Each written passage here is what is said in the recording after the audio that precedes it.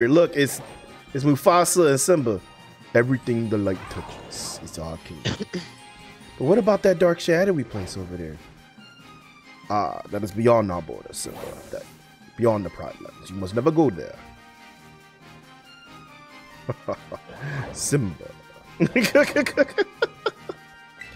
What's up, little Simba? What's up, Mufasa? Take a picture of you. Where'd he, where'd he go? Where'd your daddy go?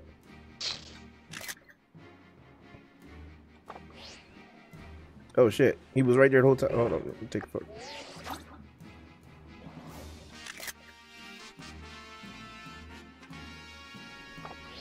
That's right, Simba.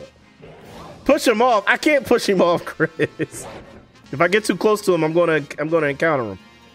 Everything the light touches is our kingdom.